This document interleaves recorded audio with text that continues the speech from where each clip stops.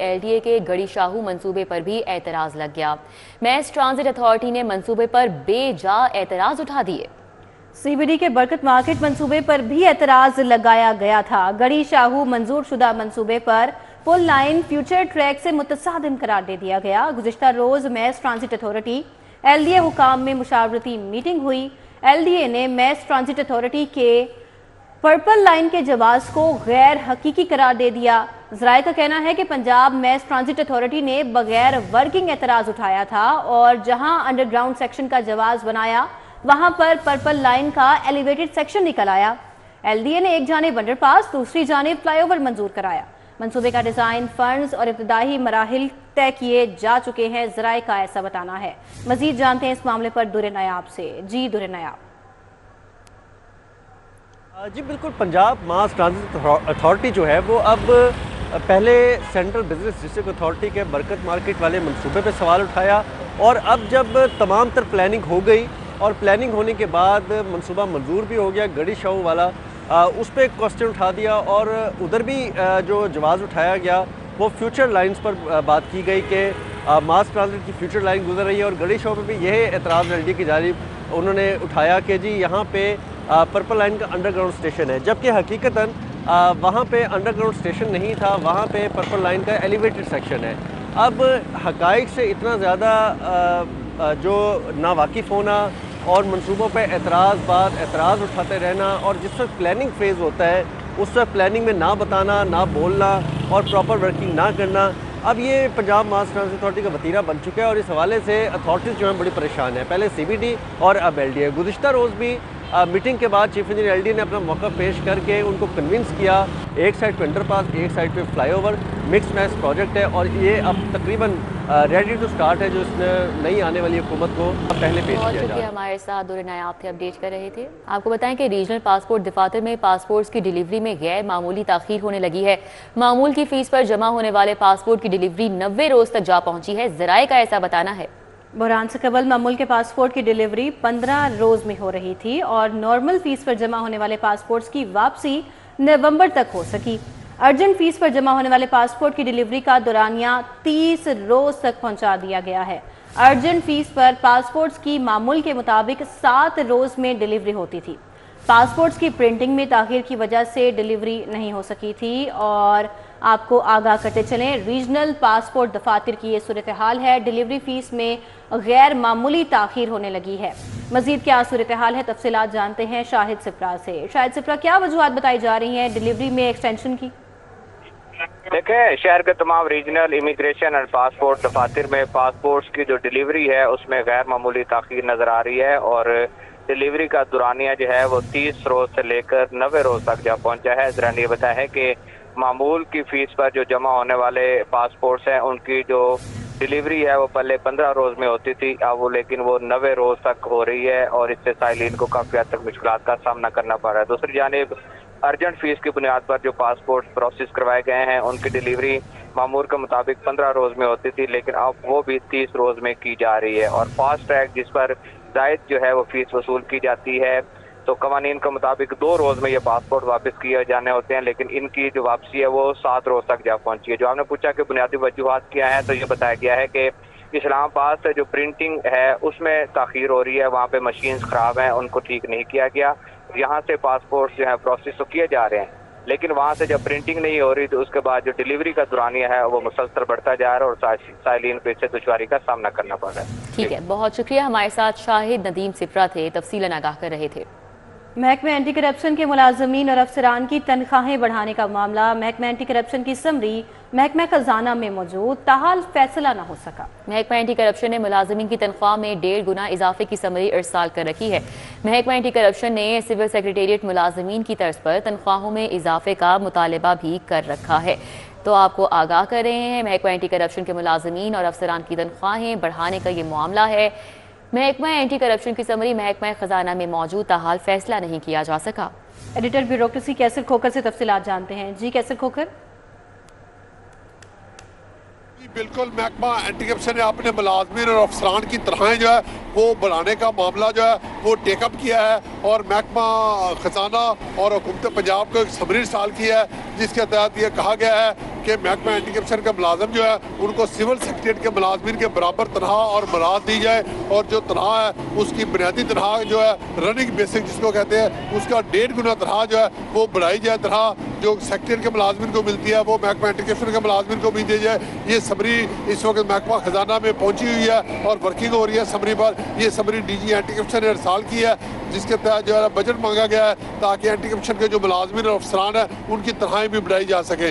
ये समरी इस वक्त महकमा खजाना में पड़ी हुई है। हतवी फैसला जो है, वो वजी अला पंजाब मरियम नवाज़ शरीफ करेंगी। ये समरी महकमा खजाना के बाद सी एम सेक्रेटरी जाएगी, जहाँ पर वजी अला पंजाब मरियम नवाज़ शरीफ जो है, इस समरी पर फैसला करेगी कि एंटी करप्शन के मुलाजमिन को तनख्वाही है या नहीं बढ़ानी है। अभी आपको बताएँ नवाब टाउन पुलिस की हिरासत से मूवी की बाजियाबी का case DIG investigation Zeeshan Asghar Lahore high court पेश हुए हैं। रोजनामचे में जजेस का नाम लिखने पर डीआईजी तसल्ली बख्श जवाब न दे सके। अदालत का डीआईजी इन्वेस्टिगेशन पर इजहार नाराज़गी। आईजी पंजाब को नोटिस जवाब तलब। मजीद जानते हैं इस मामले पर मलिक अशरफ से। जी मलिक अशरफ। लाहौर हाईकोर्ट में थाना नवाब टाउन की हिरासत से मगवी की बाजियाबी के मतलब केस की समात हुई है। डीएजी इन्वेस्टिगेशन जिसान असगर अदालत में पेश हुए हैं। अदालत ने उनसे इस इफ्सार किया कि बताएँ कि रुजनामचों में जजेस के नाम क्यों आ रहे हैं और छोटे थंदार किस तरह अदालतों से मुलजमान के जिसमानी रिमांड ले रहे हैं, जिस पर डीएजी इन्वेस्टिगेशन खामोश रहे। अदालत ने उन पर इजहार नाराज़गी किया और जजेस के रुजनामचों में नाम लिखने के मामले पर आई जी पंजाब को नोटिस जारी करते हुए उनसे जवाब तलब किया है। जस्टिस अलीजा बाजवा की अदालत में शमीम बीबी की दरख्वास्त पर समात हुई तो अदालत ने डी एजी इन्वेस्टिगेशन से इस्तार किया कि बताएँ कि आप मैटर पढ़ कर आए हैं, जिस पर डी जी ने जवाब दिया कि थोड़ा सा पढ़ के आए हैं, जिस पर अदालत ने कहा कि आपको तो मुकम्मल तैयारी करके आना चाहिए था, आपकी पहली पेशी है। जिस पे डी जी ने बताया कि इसमें तीन इश्यूज़ हैं, एक इश्यूज़ तो ये है कि मुलम जो है उसकी रुजनामचे में गिरफ्तारी नहीं डाली गई अदालत ने जो दरख्वास्त गुजार है उसको हदायत की कि मुतल फ़ोरम से जो मुलम है जो कि जेल जा, जा चुका है उसके मुतल फ़ोरम से रजू करें। ठीक है बहुत शुक्रिया मलिक अशरफ। अभी आगे बढ़ेंगे और बात कर लेते हैं शहर लाहौर के मौसम की। तो शहर का मौसम खिल उठा है अलल सुख बरसने वाली बूंदें लाहौर के मौसम की खूबसूरत मंजर कशी करने लगी हैं। मौसम खासा खुशगवार हो गया है और दर्जा हरारत 22 डिग्री सेंटीग्रेड रिकॉर्ड किया गया है। 24 घंटों के दौरान बारिश का कोई इम्कान मौजूद नहीं है। महकमा मौसमियात की जानब से ये बताया गया है। मजीद क्या पेशन गोई की गई है और मौसम कैसा है, कोमल असलम से जानते हैं। जी कोमल? जी, बिल्कुल, शहर लाहौर में फ़िज़ाई लुदकी की शरह में कमी देखी जा रही है। इस वक्त एक की मजमू शरह 164 के साथ लाहौर लुदा तरीन शहरों की फेरिस्त में जो है वो सातवें नंबर पर देखा जा रहा है। वहीं अगर लाहौर के मुख्त इलाकों के हवाले से बात की जाए तो इस वक्त सबसे ज़्यादा लुदा तरीन इलाका U S consulate 196 Syed Maratib Ali road 190 Fida Hussain 170 phase eight DH में 176 एक यू आई की मजमू शराह जो है वो रिकॉर्ड की जा रही है। फिर भी लाहौरियों को एहतियात बरतने की ज़रूरत है। बेहतियाती की वजह से जो है वो बहुत सी बीमारियाँ जो हैं वो लाहौर शहर के बासियों को बहुत जल्दी अपने घेरे में ले सकती हैं तो इसलिए जो है वो अपनी एहतियात को यकीनी बनाएँ। बार बार हिदायत इस वजह से की जाती हैं। वहीं अगर हम लाहौर के मौसम के हवाले से बात की जाए तो मौसम में जो है वो काफ़ी निखार देखा जा रहा है। सूरज और बादल के दरमियान आंग बिचौली का सिलसिला सुबह औकात में काफ़ी तेज़ी से जारी रहा, जो कि इस वक्त जो है वो सूरज ने अपनी जो है वो कमान दिखाई है और इस वक्त हमने देखा है कि शहर लाहौर पर जो है वह सूरज मियाँ राज कर रहे हैं और इस वक्त सूरज की तेज़ किरणें जो हैं वह लाहौर शहर के बासियों को बहुत ही खूबसूरत से मंजर पेश कर रही हैं। मौसम बाहर में बारिश कभी भी जो है वो बरस सकती है लेकिन फिर वक्त जो है माहरीन कोई भी इम्कान ज़ाहिर नहीं कर रहे। वहीं आइंदा चौबीस घंटों के दौरान टेम्परेचर ज़्यादा से ज़्यादा जो है वो तेईस डिग्री सेंटीग्रेड तक रिकॉर्ड किया ठीक है कोमल बहुत शुक्रिया। शहर के बेशतर यूटिलिटी स्टोर्स पर भी आज भी आटे की सप्लाई नहीं पहुँच सकी है। Garhi Shahu railway headquarter GT road utility stores पर आटे की किल्लत बरकरार है। ठोकर न्याज बेग समेत दीगर इलाकों में यूटिलिटी स्टोर पर आटा नहीं पहुँच सका है। शहरी आटा ना मिलने पर मायूस है और आला हुकाम से नोटिस लेने का मुतालबा किया जा रहा है। शहजाद खान अब्दाली से बात करेंगे इस हवाले से। जी शहजाद, क्या सूरत हाल है? अब बिल्कुल रमज़ान मुबारक की आमद आमद है और इसी हवाले से शहर के यूटिलिटी स्टोरों पर रमज़ान पैकेज का इतलाक पाँच मार्च से कर दिया गया था, लेकिन आज सात मार्च है, लेकिन इसके बावजूद शहर के अक्सर बेशतर यूटिलिटी स्टोरों पर जो आटे की सप्लाई है, उसमें सार्फिन को मसाइल का सामना है।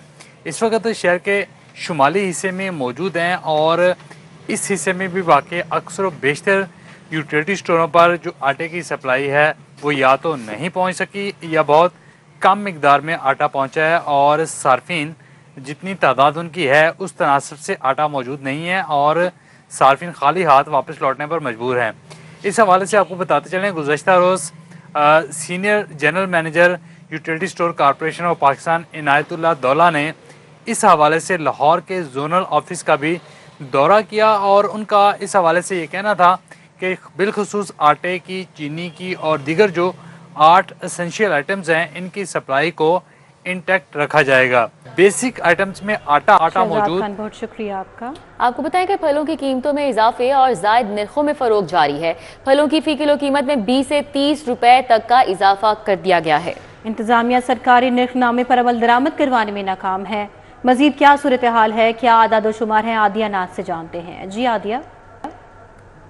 बिल्कुल हर साल की तरह इस साल भी रिवायत बरकरार है कि रमज़ान से पहले ही मुनाफाखोरी जो है वो सरगर्म हो जाती है।